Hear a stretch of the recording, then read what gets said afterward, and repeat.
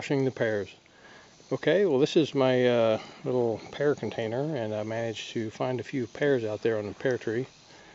And so what I did is I filled it up with water and uh, so I swirled it around and uh, getting all the, the stuff in, you know washed off of it. I've got my apples here. I've already been through um, a few of these and so I found it's good to take the, the uh, excuse me, I, said apples, these are pears, but take them, quarter them and cut off the, uh, the little pieces, the dark pieces that are undesirable. Now I'm, I'm leaving the seeds in there. Uh, I know it'll supposedly give it more tannins, but uh, that's okay.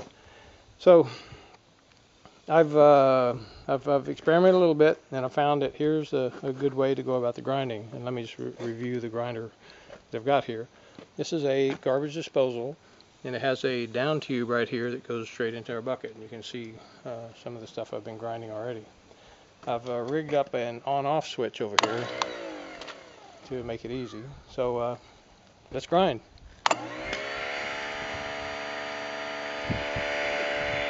It's good to put one in at a time and have another one right behind it to prevent splatter.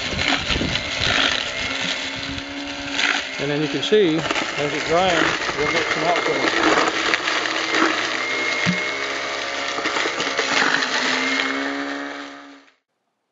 Pressing the cider pulp.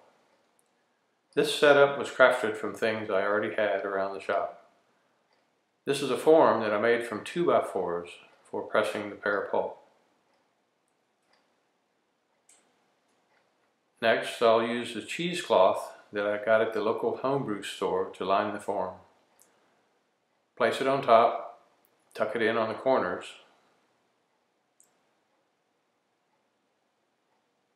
and then we'll scoop the pear pulp into the form. By the way, all the wood that I use is food compatible, not chemically treated, and I made sure to wash it thoroughly.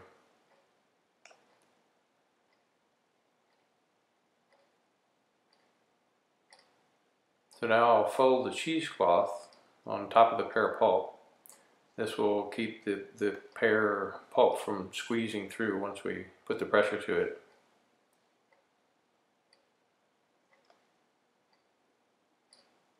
Now, uh, if you look closely, you can see the pear cider already flowing. Now I'll remove the form and press the, place the pressing plate on top.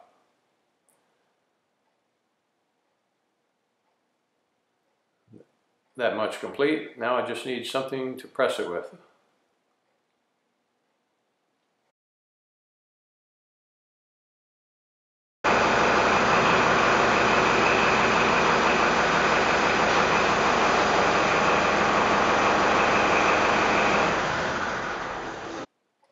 That seemed to work well.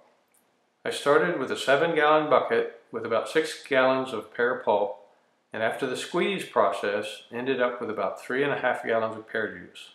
That's nearly 50% yield, and then the remainder of the pulp went into the compost heap. Sorry for the video downtime, but copyright police deleted the original video because they could hear a song playing in the background. People seem to like the video, so here it is again.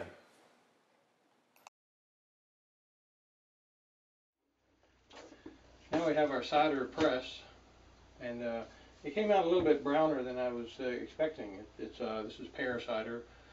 So anyway, this is what we got. Now, the recipe calls for about for one gallon of juice to uh, add one pound of sugar. So this is a 10 pound sack, so I'm just going to ballpark adding half this bag. So to that end, uh, here we go. Alright, there we are. Next ingredient is the yeast. And this is a Red Star yeast I got from the uh, homebrew shop. so, here we go.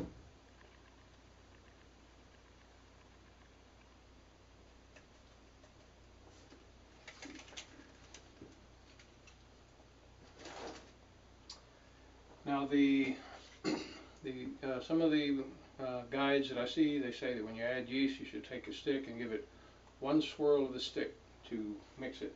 Of course, other ones I've seen, they say you grab the whole bottle and you shake it. So I, I don't know. I, I don't know one from another, but I guess uh, a swirl is going to be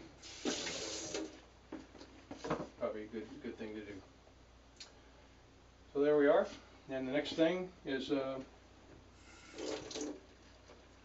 attach our clean, uh, bacteria-free vapor lock, and voila, we let it brew.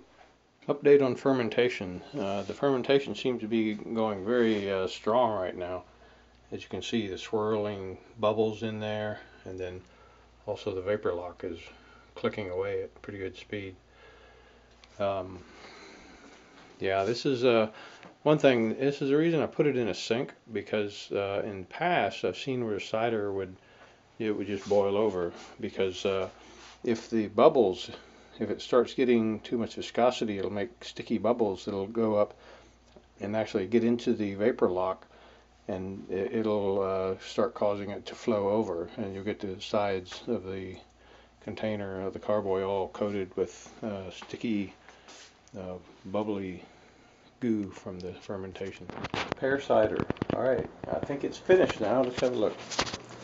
This is the carboy. And you can see, uh, well, maybe maybe you can't see that well, but this is uh, pretty clear here now. We have a lot of uh, sediment down in the bottom. Uh, it seems to have settled out quite a bit.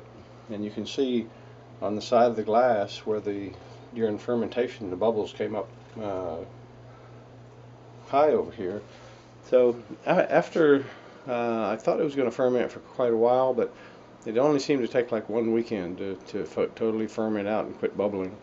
But uh, I left it here for about another two weeks in order to let it settle out. So next step, bottling. Uh, to that end, I have uh, freshly sanitized bottle caps. We have a funnel and uh, also the other equipment here. This is going to be a uh, we're going to uh, put our priming sugar in there. We're going to rack it in there and then put our priming sugar in there. And from there, we're going to go put it into the bottles. Now we have the uh, cider is being racked. We're, we're racking it out this tube and it's going into this other bucket. I have a little clip here I bought from the homebrew store. It comes in very handy because uh, this this uh, tube tends to uh, be hard to handle. If, if you don't have that clip then you have to stand there and hold it. And so this is very very handy. Um, and and you want to keep it off the bottom of the fermentation tank to keep from picking up the sediment from the bottom the, the stuff is settled out. So that we just get nice clear brew in there. Um, so uh, we're going to transfer this into this bucket and then we're going to uh, add the priming sugar, and then from there, then we'll go ahead and bottle it. All right, now we're getting to bottling. And uh, what I did is I racked all of the pear juice into this container, added about two cups of sugar for priming, and I have this uh, tube right here which goes to a bottling wand. And uh, this is a really neat device. It's got a little button on the end that, that when you press it down like this, then it lets the fluid flow. Otherwise it shuts it off. So we fill one bottle at a time. Just like that. Hold it down until it fills up. And then move on to the next bottle. And uh, just to, for time's sake, I'll show you the cap. So We take a sterilized cap, put it on there, right in our capper, and then give it a good press. That's it. Bottle cider.